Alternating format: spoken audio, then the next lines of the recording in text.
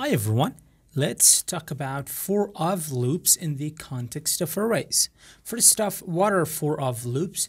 Uh, a for of loop is a new addition to JavaScript and it allows us to iterate over anything that is an iterable, meaning anything that is like an array. An iterable is anything that can be iterated over or we can loop through it, then that is called an iterable. Uh, in simple terms, iterables are something that are countable. Like arrays, you can count their items. That's why arrays are called iterable, because they are countable. Let's jump into an example to see how they actually work. I'm going to create an array of vegetables and here is the array. I'm to copy all of the vegetables and I'm to paste them right here. So we have potato, tomato, garlic, and onion.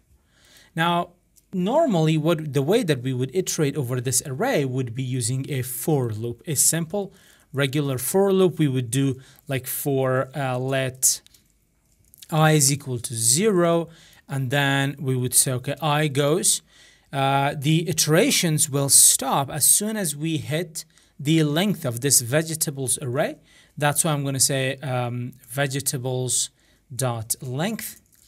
And then after each iteration, we are going to increase the number of i. So it goes to the next item. So the first item is item 1 or index 0. And then if, if we wanted to grab the next item, we need to increment it. And then we could say console.log uh, we could grab, uh, take a look at the i. This is going to give us the indices.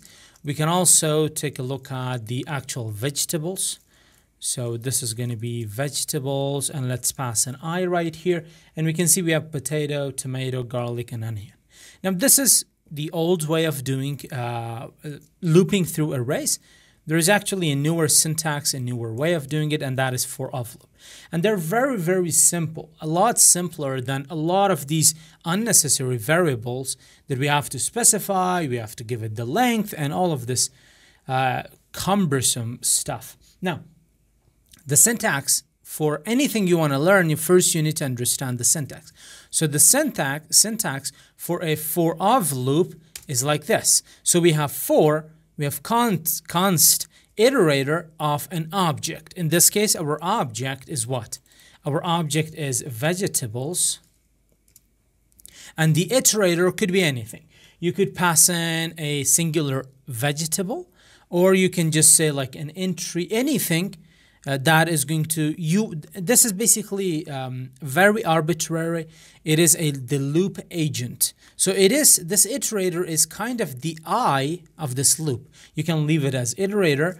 I'm just gonna uh, i'm just gonna specify it as vegetable because it makes more sense. So i'm gonna say for const vegetable of vegetables. So the first one is singular because this is gonna grab one value at a time and then I'm just going to say console.log vegetable. That's it. And now we can see everything on the screen. So you can see how simple, how much simpler this actually is. We didn't need to create any kind of variable, didn't need the length, didn't need to increment it, and we certainly didn't need this kind of syntax. So it makes it a lot easier. But where are the indices? We can find out the indices as well. There is actually a for um, in uh, loop as well that is basically geared to give us indices. We can take a look at that as well. I'm going to comment this one out. So if I say for n for vegetable in vegetables, this is going to give us the indices. So technically, I just showed you how to work with two kinds of loops. For of loops, by default, they're going to give you the array items or the iterable items. But for in loops, they're going to give you by default indices.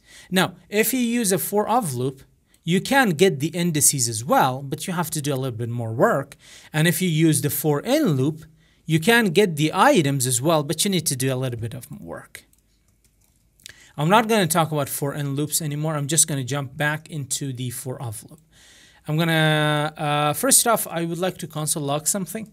So there is a function available for us that we can use to give us uh, all the array items in, in the form of an object. And what is that function? That function is actually called entries. It is actually a method. So I can say vegetables and I'm going to say dot entries and if I take a look at this it says returns an iterable of key value pairs for every entry in the array. What does that mean? It means for every entry in this array, we're going to return an object because objects have key value pairs. So what are going to be the key and value? The key is going to be the index for that specific item, and the value is going to be the item itself. Let's save it and let's take a look at it. So you can see that it is, it basically returns an array iterator. It doesn't show anything in here, but what this means is that this is an iterator, so we can iterate through it. So when we can iterate through it, why don't we use it in our for of loop? So I'm going to comment this one out. For, you could say const, you could say let. I typically uh, do let in for of loops. Uh, so I'm going to say vegetable and vegetables, remember, dot entries, dot entries. And now this is going to give us an array iterator, right? And we can iterate over that. Console.log. Let's take a look at the vegetable and for entries for oh sorry this is n this has to be for of loop there we go. So it gave us, uh, sorry, it didn't give us an object. It gives us, technically are objects, but it gives us arrays, right? Now, the first item is the index for that specific item. And the second item is the value for it. So this, this is what it meant by key value. Like this is the key and this is the value.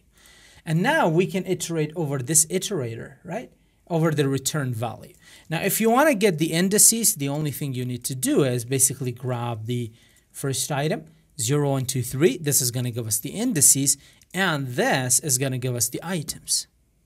So we can use our template strings, console.log, and let's use backticks. I'm going to grab the vegetables. I'm going to grab the index and I'm gonna I could offset it by one if I want to. And you know what? I'm gonna I'm gonna do you one better. We have talked about um, uh, destructuring in our previous lectures. We did talk about array destructuring and we talked about function uh, object destructuring and then array destructuring. So what I could do is instead of like elongating this like making this more lengthy this implementation, what I could do is, as we are iterating through these arrays, we could destructure them. So I'm going to pass in another variable there that is going to be i, and I'm going to put it within the destructuring expression.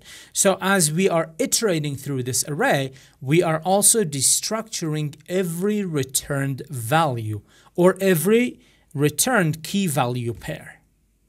And now we can take a look at that we can say console.log i and then the vegetable itself. So we got 0, we got 1, we got 2, and we got 3. So this is like uh, iterating and destructuring at the same time. We can take it one step further using uh, the template literals syntax that we have. And I can just offset it by 1, so we don't start from 0, we, we start from 1. Uh, let me grab this. Uh, so I, I'm going to offset it by 1. And then I'm going to pass in the actual item, which is the vegetable. Let's save that. There we go. I'm going to comment that one out. So it's one potato, two tomato, then garlic, and then onion. Now, so far everything is working okay. But what about working with a function? Uh, how can you use for of loops in a uh, for of loops in a function. Now I'm going to give you an example for that as well, and then we're going to wrap this video up. Now let's say we have a function that is called addition. The function's job is to add numbers. So if we have five numbers in this function, we are going to add the first number with the second, and then the uh, result is going to be added to the third. So it's it's in that kind of manner. And in here, I'm, I'm not going to do anything. I'm going to come back to, I'm going to come down here and I'm going to call this function. Addition, uh, let's say I'm going to pass in 10, 20, and 30. Now we have all of this. We don't see anything on the console. Let's, uh, there is actually something called um, JavaScript that is called uh, function of unknown parameters, parameter length. This is actually a function. This is not going to work in TypeScript, but it is um, actually wor- it's going to work in, in JavaScript. In TypeScript, everything has to be known. But in JavaScript, this can work. You can have three arguments, but you can but you can't have any kind of parameters. So this is called the function of unknown parameter length. Now, how would you deal with this? The reason that I'm actually throwing this issue out there is, let's say you have number A, number B, and number C. And then the user, what the user does is the user enters four, five arguments, but the function, excuse me, but the function actually accepts only three parameters. So let's just get rid of all these three parameters and let's see what we can do here. There is a, there is um, an object involved with every function that is called arguments. And that is actually a special, excuse me, that is actually a special keyword in JavaScript. So we can take a look at that. And it is a form that is a little bit familiar to you arguments and I'm going to console log it. And now you can see that if I expand this, what is written here? It means that it, this right here. It means that this is this is an object, but what is the form of this object?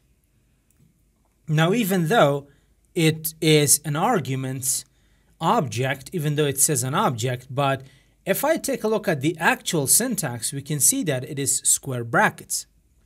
Therefore, it signifies that it is somehow some kind of an array. Now, this is not technically an array, but this is something that we could make it into an array.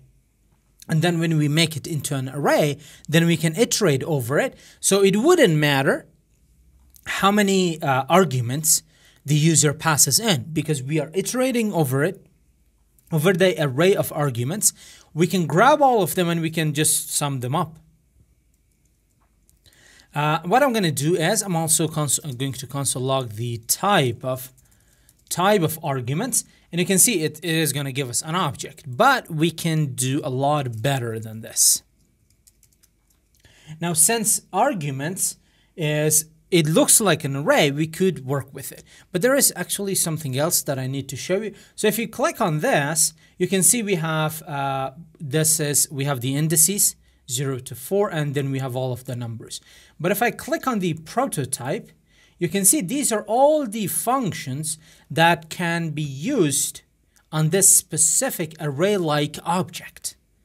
It can be used. So we can use the constructor, we can use the has own property, is prototype of prototype of to string, value of to local string. We can use all of them. Keep that in mind. This is actually a good reference point for you. Now what I'm going to do is I'm, first I'm going to show you the uh, usual uh, normal uh, for loop. So I'm going to say let i is equal to 0. We are going to start from 0. Then i is going to go less than arguments dot length. Since it looks like an array, it should have some kind of a length. And then we're going to increment the i. Let's um, console log arguments and I'm going to grab the actual values in there as well. There we go. So it doesn't matter how many values the user passes in. Uh, that's why it's called unknown parameter length. So if the user passes in 120, 150, 250, so there are now eight values. We are, because we are iterating over that dynamically or programmatically, we are going to grab all the values. Now, when we grab all the values, what we can do is, what we want to do is, we want to sum all of them up. So 10 plus 20 plus 30 plus 40 plus 50, what we want to know the result. Now for that, I'm going to create another variable that is going to be let result, and I'm going to instantiate it as zero first. I'm going to assign it to zero first. And then in here, I'm going to say return result using the um, addition, uh, the increment assignment operator, I'm going to add the arguments, all the values from the arguments array. And this is going to return okay, not return it. I'm just going to add it there. I'm not going to return it there from there. I'm going to console uh, remove the console log so we don't see anything on the on the console, right? And now I'm going to come down here. I'm going to say console.log. Let's take a look at the result. And it is 670.